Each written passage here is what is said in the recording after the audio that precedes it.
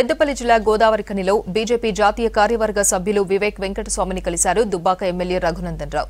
మంచిర్యాల కొమరం భీం జిల్లాల పర్యటనకు వెళ్తున్న సందర్భంగా వివేక్తో భేటీ అయ్యారు.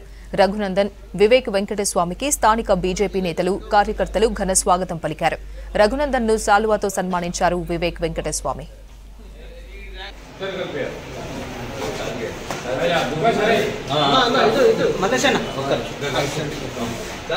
మల్లేష్ अपना कॉर्पोरेटर है